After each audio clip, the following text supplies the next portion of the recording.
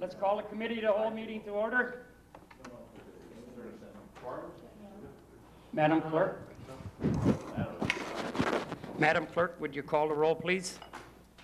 Bauman? He's excused. Um, Bauman? Excused. Okay, Berg. Here. Bonet? Serta? Graff? Manny? Montemayor? Perez? Peterson? Is He's excused. excused. Rindfleisch? Not here. Sagali? Stefan? Van Akkeren? Vanderweel? Warner? One, two, three, four, five, six, seven, eight, nine present. Now I entertain a motion to approve the minutes of September 7th meeting. Motion made and second to approve the September 7th meeting uh, minutes. Any corrections? All in favor? Chair votes aye also. Before we go on with our program here tonight, I just want to say to everybody, like watching television or anything, at 7 o'clock, don't change your channel because the full council meets at 7, and you know that's when all the fun begins. So tonight's uh, program, we have the lead abatement program, which the city has received a a $3 million HUD grant, which the city and the Division of Public Health of the county are partnering in this program. So right now, I will turn over the program to Pete Fullerton, and he will take it from there. Pete? Thank you, Dan. Um, We hope that uh, we can provide a little fun for you too in the next hour here. Um, Thanks for having us. We'd like to talk to you a little bit about the uh, city of Sheboygan received a um, HUD lead hazard control grant from the federal government. Um, I work for the city development of the city of Sheboygan, and under the direction of uh, Paul Enders, our uh, director of city development, we work uh, with the public health department. And I guess I'd like to introduce a couple of people here tonight. And um, then have Jerry Drykosen from Public Health go through a quick um, PowerPoint presentation and answer any questions along the way or afterwards. Um, Jerry Drykosen, sitting here. Jerry's a public health nurse for the uh, Sheboygan County, and she's also part of our lead team. Um, Her supervisor is Diane Liebenthal over here, and we also work closely with the um, Public Housing Housing Authority for the city of Sheboygan, which is Donna Litke, sitting close to the mayor over there. Um, We're, one of the nice things about this program is that we were able to work together with the county, the housing authority, and the city to come up with a very good package that we, we, we gave to the federal government, and we were lucky enough, and we're very happy to receive this $3 million grant. And uh, I'd like to turn it over to Jerry now to, to pro- provide more specifics about the grant. Jerry? Great, thanks, Pete. Next. Um, Why should we care about lead? Well, part of it is, is that what you need to realize and what you probably already know is that lead-based paint is present in homes built before 1980. The reason 1980 is picked is because um, they stopped making lead-based paint in 1978. That was a federal rule. However, as most people know, they, people tend to hang on to their um, paint cans for a lot longer than that. So that's why they say homes built before 1980 could definitely have less lead-based paint in them. And children under the age of six uh, can easily be poisoned by the dust and the chips um, from lead paint. One of the reasons I chose this picture um, that you can see up there is because of the fact that a lot of people think that children get lead poisoned because they actually sit down and there's a paint chip there and they eat the paint chips. And we're finding out from studies that that's really not the case um, as much as what you think. Most of the time what happens is that children get lead poisoned because of lead dust.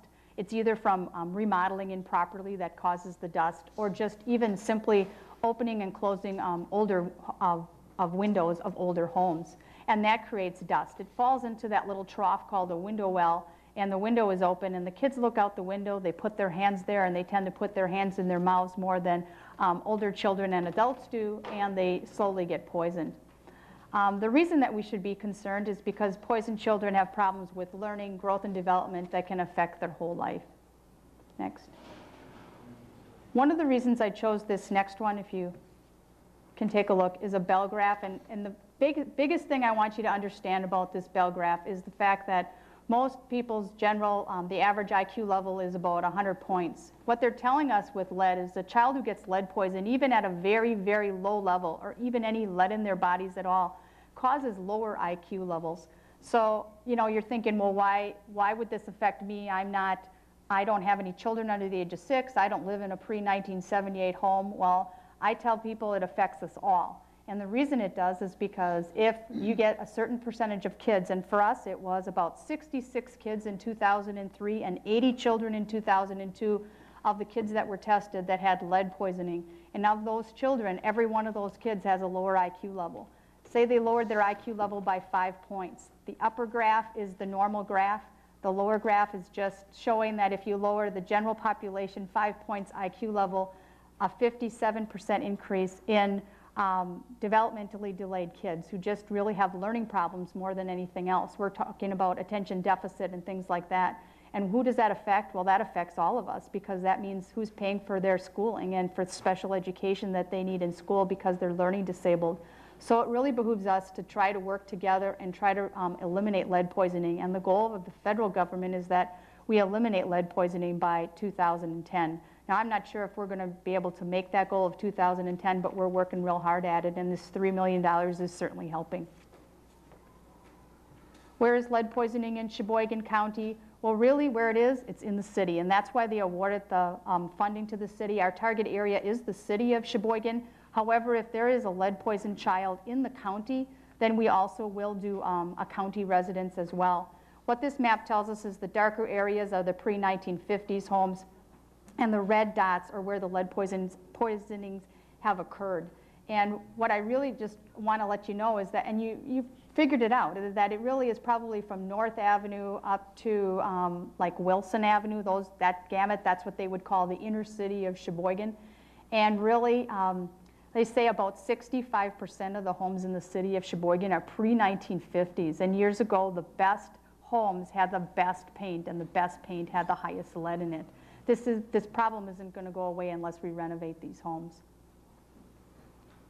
Again, like Pete said, we got $3 million, and HUD wants us to renovate 225 homes over the next three, three and a half years. We do have an extra six months to complete and clear them, but we do have to enroll 225 homes and be in process within three years. And we're about nine months into the grant. We started in January. Um, my role is to educate families, the landlords and the homeowners and the community, such as um, you guys. I've been to um, the Realtors Association. We've um, talked to many different groups. Lead um, the Lead Task Force, we educated them exactly what's going on with the community, so we work well together. We've gone to the Hmong Association. We've just been um, quite a few places in the community. And then as far as training goes, we not only get the $3 million, it's not just for education and it's not just to renovate the homes, but we also have to train workers. And our goal is to train, or we said we would train at least 100 workers over these three years. Well, we've already trained 75 workers and we just conducted another training last week. And we're supposed to train them to be lead safe abatement workers, lead supervisors, and lead risk assessors. One of the reasons HUD wants us to train people is because we have to hire people that are certified and know what they're doing with lead because if they go into these homes and they try to renovate these homes and it's not and they're not doing it safely, then they're just going to create more of a problem and we're going to have more poisoning than what we did before. So the EPA and HUD has set, uh, set aside um, certified classes and certain, um, certain groups like the Milwaukee Lead Information Center are actually certified to conduct these classes. And um, We've um, tried to recruit some of the contractors in the area and just landlords, just about anybody who's interested to be lead safe abatement workers and supervisors. There are many landlords who like to work on their own properties. And even if they don't want to work for our grant, we just, we really want them to be able to work safely with the lead and not poison kids any further.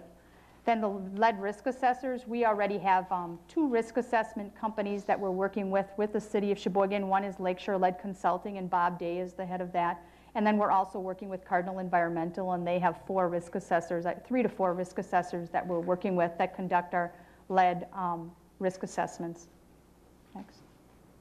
Why Sheboygan? You're probably thinking, why did the federal government pick Little Sheboygan, considering there was only about 30 or 35 that were awarded in the whole um, country last year?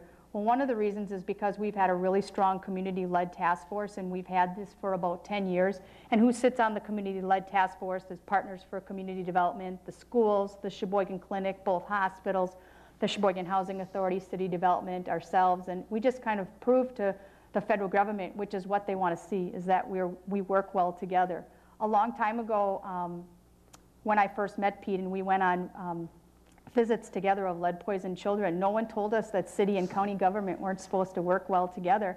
And so we've always worked well together. Then Donna came in on the mix, and she was just as supportive as Pete and I were, so it really was a good mix, and I think they saw that. Our lead poisoning rate, again, it's no shock that we were only second to the city of Milwaukee when we applied for this grant, and we used 2001 statistics. So we have gone down considerably, but it's still not where we need it to be. And we really, um, we had about 8.9% of the kids that we tested were lead poisoned, which amounts to now about 66 of them. Again, the same thing, lower IQs and higher, you know, schooling for them. Housing stock, I had talked about that, 65%, and also um, when we applied for the grant, 41% of the homes in the county are pre-1950s as well. One of the things that um, the state has really commended us on is our great public health lead poisoning prevention program. The state wrote us a glowing recommendation, and that really helped. We've been in existence for a long time. Um, more, boy, I've been in it for 11 years, and it's been longer than that that it's been in existence. And also, um, we work well with our WIC program. My office is right next door to WIC, and we do screen all of our WIC children, which has proven that um, they, they do have higher prevalence of lead poisoning, and the state really knows that and notices that we work well together. The history of success with city development. Um, Pete and I, again, like I said, we worked together a number of years ago on a HUD project. Um, the state of Wisconsin actually was awarded some HUD money, and we worked well together doing renovating probably about five or 10 homes. That was just a small portion of what we get today, of course, but we proved to them that we were able to handle that money and we were able to renovate those homes. And of course, we have a strong Section 8 housing program, which is out of the federal government as well. So I think um, the under the leadership of Donna Litke, that has really um, commended us as well that we were able to get this grant. Some of the guidelines that I just want to kind of give for the grant, just in case you have some of your constituents asking you about it. One of the things that I guess I was a little surprised about is this grant is just not for the poorest of the poor. It's for low to moderate income people. So take a look. You can have a family of four and make $50,000 and still qualify for this grant. And you're thinking, well, why would that be? Well, you may be able to afford to buy your own home, but after you've sunk all your money into the down payment and trying to make the house payments, it, it takes some money to replace windows. Window replacement can be expensive. And so a lot of times um, these families can't afford to renovate their properties the way they should be renovated. And um, if they apply for this grant, they may qualify. The house of the grant, first of all, we have applications for tenants and landlords, and they have to fill out an application. Obviously, the landlords fill their portion out if, they're, if it's um, owner-investor property, and if it's an owner property, of course, they fill out the entire application. Qualifications um, for the program, first of all, HUD wants us to recognize that children under the age of six are the most, um, that are going to have the highest risk for lead poisoning. So one of our qualifications for this grant is that you need to have children under the age of six, or if you have a pregnant woman working with the public health program because we have a strong prenatal care coordination program and we work with pregnant women and obviously they're going to have their babies and live in those homes. So that's one of the reasons why um, we have that as a qualifi that can be a qualification as well. Or if it's a daycare and in-home daycare, um, or if it's a vacant unit, unit and you agree to um, list your unit with um, Donna Litke for the Section 8 housing. The other thing is, is the income guidelines. Of course, you can't make 100 grand a year and, and still qualify underneath under this grant. So you have to have, you have to be income qualified as well. Once we um, go over the application and verify that they do qualify, then we send one of our risk assessors out into the in, into the unit to actually do a full risk assessment, and they actually go through the home and um, with the assistance of something called an XRF machine, they're able to detect wherever the lead is and then they also do a visual assessment because we do not treat the lead where, it's, where the lead paint is intact. Lead paint that's intact on these, there's probably lead paint in these walls. but it's not chipping or peeling, so it's not causing any problems. But as soon as you start renovating, that's when it's going to cause problems. So they actually look to see where the paint is in poor condition, and that's where they write their, their recommendations as to what needs to be done with this house in order for it to become lead safe. Once they write their recommendations, then Pete comes into play, and Pete looks at, actually, um, looks at their recommendations and writes up an order specification, the spe- what he would like to have done with the house, and then his secretary sends out these for bids to all the certified lead contractors that we have in the area at this time. And then he allows like two weeks for them to bring their bids back, and then he takes the lowest bid. Um, Once he does that, then there's, there's a bunch of red tape in there with the city, I know that. And um, he tells me that they're just about ready, and then my job is to actually relocate the family. And what I need to do actually is that those, the people that, whose houses are being worked on, they cannot be in the home while the, ho- while the work is being done. And that's a federal guideline that they're telling us they cannot be in their home. So we have actually um, leased out two furnished apartments at the old um, Foxcroft Apartments, which are now the Oak Creek Apartments on Union Avenue. And we put them up into that um, apartment for the week. It usually takes about a week for the work to get done. And the work process is, the contractor usually comes in on a Monday and um, starts the work. He usually takes Monday, Tuesday, Wednesday, Wednesday, possibly Thursday to do the interior work. He gives me a call, and then I have to actually go out and do some dust wipe sampling and send that overnight to the lab in West Allis. And then they call us the next day to let us know if the dust wipe samples have come under HUD specifications. They have to meet a certain, they have to meet certain guidelines for window wells, sills, and floors. And the reason we do this is because, again, the contractors just can't remove a window and leave their mess sit. They can't just pull up carpeting and leave their mess sit. They actually have to clean up the mess, and they have to do it in a safe manner. And the way we're going to be able to prove that is by doing dust sampling. And then when the dust samples come back below the HUD standards, then we actually call the family and tell them that it's safe to go back into their home. We do give them an incentive as well. HUD has, had encouraged us to give them an incentive so that they do stay out of their home. They're not allowed in that home. Pete and I aren't allowed in that home. Only the contractor and his workers allowed in that home when the work is being done. And the incentive that we have come up with is that we give them a $50 um, grocery store gift certificate, and that seems to be a pretty good incentive. Most of these families are just thrilled to get that $50, and just by staying in a furnished apartment, they're, they're doing okay. Um, And then the other thing that we're looking to do is to um, put some of these homes into a lead registry. The state has also developed a lead registry um, where they can be awarded a one-year or three-year, up to a five-year, 10-year lead-safe certificate. And our goal is to give them a three-year lead-safe certificate for the homes that have lead-poisoned children, so that there's, the standards on those are a little bit more strict and a little bit more costly um, um, things have to go into that home. HUD is telling us that we can only put $10,000 into a home. Well, that doesn't amount to a lot, especially if it's just a single-family home. And what we're actually ending up doing is pretty much replacing the windows. But I can tell you of all the years that I've been in, in public health and worked with lead-poisoned children, I would say at least 90% of the kids that have gotten poisoned, it's been because of the windows. Because those, if you've looked in older homes, they're wood windows and they're painted. And you open and close the windows and the window jambs inside the, with, through the weather, through the wet, through the cold, through the snow, everything, that tends to chip and peel and dust falls into the window well and you can't even clean it that well. You try to clean it, but sometimes it's not even any better than beforehand. Whereas nowadays, if you've looked in the, in the newer homes, it's all vinyl and you can clean it real, real nicely. Well, you can't in the older homes, it's all wood the lead actually soaks into the sill. The bid process, again, um, Pete is the one who goes through that, the cost limit per project, the contract agreement. Did you want to say something here, Pete? Go ahead. Um, We also, as Jerry mentioned before, we put up an average of $10,000 per unit. So if you have an upper and lower flat, which is a lot of units in the city of Sheboygan, we can put up to $20,000 of lead hazard control money into that unit. And that money is used strictly for lead hazard reduction activities. As Jerry mentioned, many times it's window replacements. We'll take old wood windows and have them replaced with vinyl windows. And, um, and there's some miscellaneous painting and, and that sort of thing depending upon each house. If the cost of that runs over $10,000, we do have the luxury of our community development block grant funds, we have rental rehabilitation loans, and owner-occupied housing loans, where we can put some of that money into the process as well.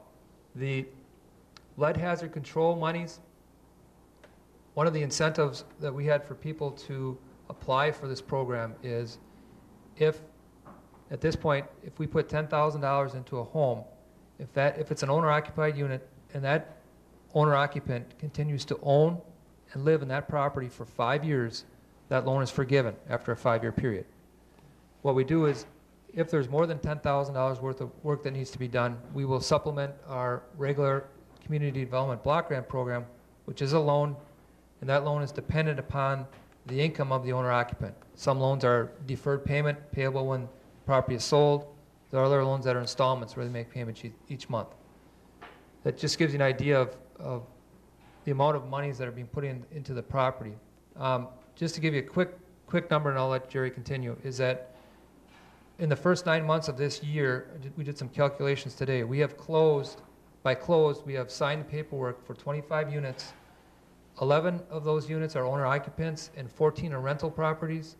We are going to invest $264,000 in the community with lead hazard control money. That has also, we've been able to um, match that money or put an additional $168,000 of regular community development block, block grant monies into these homes for not only lead hazard work, but also maintenance item, code violation problems within units. So we will do things like replace roofs, um, upgrade electrical systems, furnaces, that sort of thing. So in the first nine months of this year, we've invested over $400,000 into the uh, um, city of Sheboygan. And we're projecting out, hopefully by the end of this year, just in our lead hazard control program, we hope to invest over $600,000 into the community. Go ahead, Jerry, sorry. Oh, no, that was good. Next. And this is a little bit about where we are at with, not, you know, Pete mentioned numbers, but just as of August 10th, there's no um, secret in the city of Sheboygan or in Sheboygan that if something is free, people are going to go for it. And we've really not had any trouble with getting applications. In fact, we probably are in the 160s now of how many people have applied. Um, 11 units were not eligible. Either they didn't have children under the age of six, they didn't have grandkids coming over, or they just were over income and they just didn't qualify. And one unit, actually, there was no lead found in it. So, um, like Pete had said earlier, I just want to clarify a little bit what you had said, Pete, with the, with the landlord, if it's a landlord, the tenants don't have to live there fi- for five years, but the landlord has to own that unit for five years. And one of the incentives for that is because we don't want them, we don't want to pump all this money in and then they sell it to make a profit is what, that's why we're, that's why we say they have to have it for five years. Go ahead. One of the reasons why we, we talked about that um, forgivable loan after five years is a lot of the work that's done for lead hazard control is um, paint stabilization and doing a lot of things that are really maintenance type items. That after five years, there's probably a good chance that some of the painting would have to be redone in that five-year period. We're trying to make these units lead safe for primarily kids under six at that point in time. We also know that these, the homeowners and landlords will have to continue to monitor their, their units and make necessary repairs each year. Um, Just a little update on the numbers. Right now, we have, as of today's date, 162 applicants in our office, um, which is over 100, is a- is 175 children under six years old that live in these units. There are many other children that are over six, that are under 18, over six, under 18, that live in these units. We don't have those numbers for you tonight, but there are uh, many families and many children that are going to be um, hopefully positively affected by this, by this program. And our goals, um, our goal in 2004 was the minimum that HUD required, which was 11, because they felt that, um, they, they set their goal low for HUD simply because you really have to get your program off the ground. And I can't stress enough how well-run the city development is with this, because there are many, um, there was a county that was awarded in, in Wisconsin a grant a year ago, and they came to us and asked us how to run the program. They wanted to look at our policies and procedures. They still weren't even off the ground. And so, of course, there was a red flag there for their county, but we've not gotten nothing but um, good remarks from the federal people that we're running our program well. Biggest thing is, is that um, we're not concerned about meeting our goal in 2004. It's 2005 and 2006, and it's, we've got our work cut out for us. I'm not going to um, say that we don't, but I think we can make the goal if um, we work smart.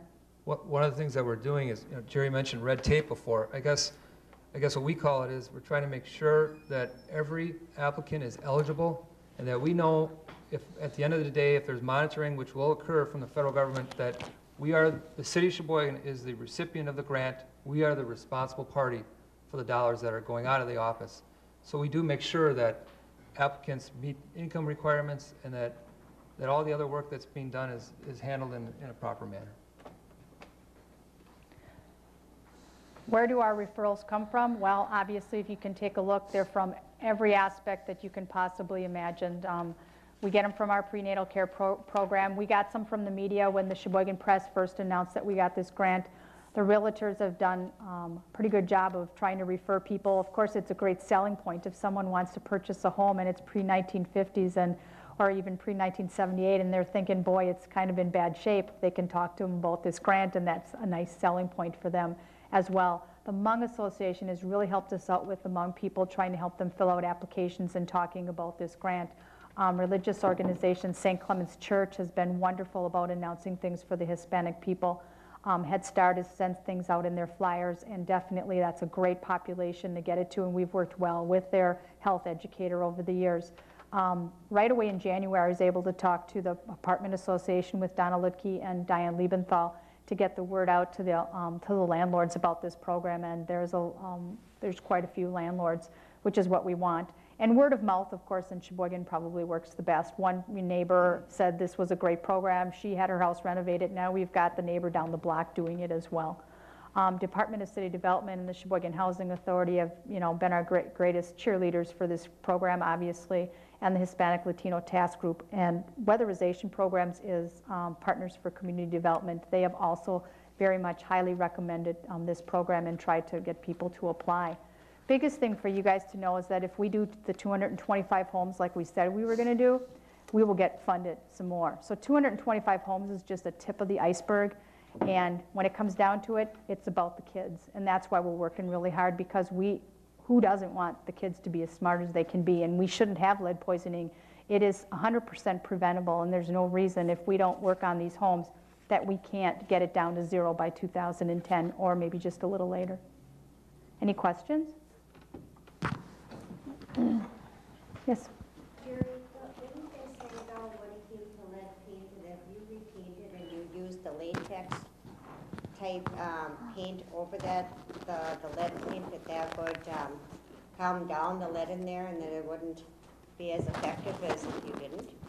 It's always there, just so you know. I mean, if you put latex paint, and like I said, I'm sure these walls have latex paint, but underneath there's probably lead paint, and you're fine with it because you're not remodeling and you're not be, you're not generating the dust.